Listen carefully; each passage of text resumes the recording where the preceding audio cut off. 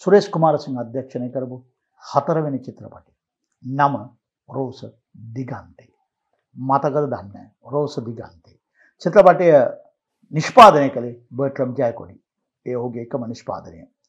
චිත්‍රපටේ camera අධ්‍යක්ෂණය යාපා විචය බණ්ඩාර සංස්කරණය කළේ කුමාර සෙවිද සිල්වා.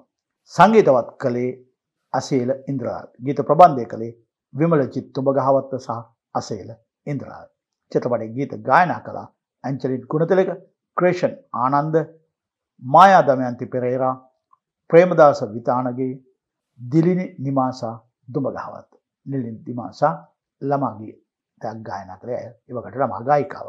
ඒත් චිත්‍රපටයට ඇතුළත් වෙලා තිබුණා පුංචි මගේ හිත පිරිලා සරා සඳසේ මගේ ජීවේ හැමදාම උණුසුම්ව මාගේ මෙම ගීතතුන ඇතුළත් වෙලා තිබුණා. එහි අංගරචනින් හා ඇඳුම් නිර්මාණයෙන් කොන්ඩසකසුමෙන් සුනිල් කිරාන් සොයිසා කලා අධ්‍යක්ෂණය විමල ජිත්තු භගහවත්ත සරණ අධ්‍යක්ෂණයෙන් ටෙඩි විද්‍යාලංකාර නැටුම් අධ්‍යක්ෂණයෙන් කාංචනා පීරිස් සහ දර්ශන වික්‍රමරත්න ශබ්ද පරිපාලනයෙන් ලයිනල් ගුණරත්න දායක වුණා. ගීත රචනයෙන් ලසන්ත විජය වික්‍රමදායක වුණා. රසායනාගාර කටයුතු ඩෙල් ප්‍රොසෙස් ආයතනය වර්ණ සංයෝජනය තිලක් ජයි. තිලක් වර්ණ සංයෝජනය තිලක් අබේසිංහගේ. මේ චිත්‍රපටයේ ප්‍රධාන චරිත රඟපෑවේ ඒ නිෂ්පාදක Bertram Jayakody.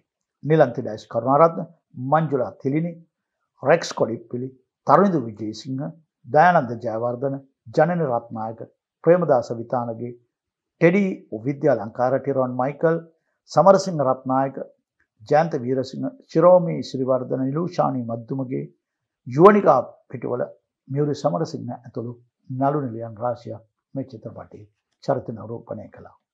රෝසදිගන්තයේ චිත්‍රපටයේ ඔබ නරඹා ඇද්දයි පොඩ්ඩක් කල්පනා කරලා බලන්න සමහර විට නරඹා ඇති.